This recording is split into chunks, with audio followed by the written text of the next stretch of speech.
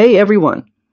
In this video, I'll show you how to insert a GIF directly into the body of your Outlook email.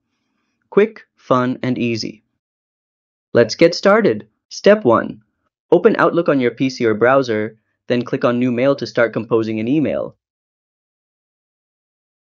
Step 2. Click in the message body where you want to insert the GIF.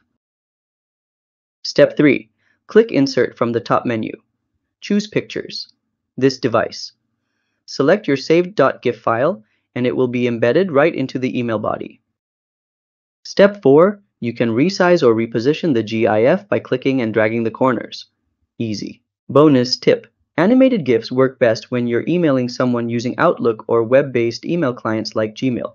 Some older clients might show only the first frame. And that's how you add a GIF to your Outlook email.